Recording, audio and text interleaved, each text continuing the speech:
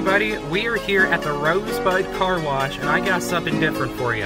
An old Futura SSA with something that could be potentially a Genesis dryer system, but a different one. So we're we got the $11 wash up top and we're gonna go in now.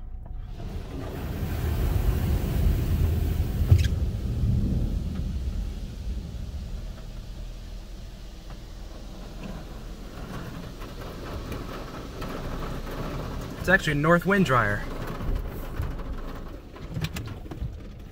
This is different.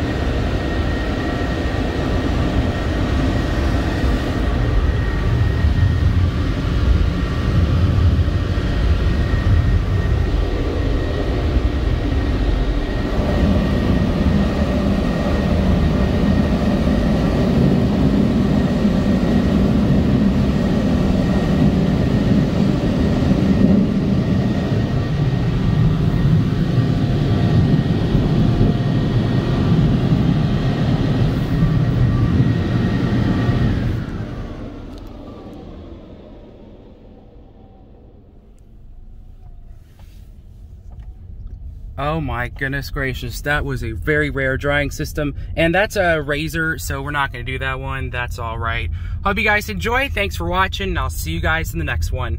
Peace out, everybody.